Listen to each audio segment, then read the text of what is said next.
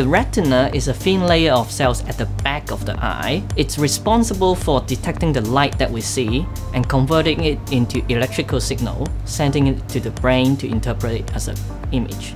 We use a technique called single-cell RNA sequencing to profile about 20,000 cells from a human retina and put the data together to become a human retina gene atlas. The retina gene atlas allow us to understand the genetic signals of the cells in the human retina. We know that there are more than 200 genes that are associated with inherited retinal disease. And having a detailed gene profile will help us understand how these genes impact on the cells.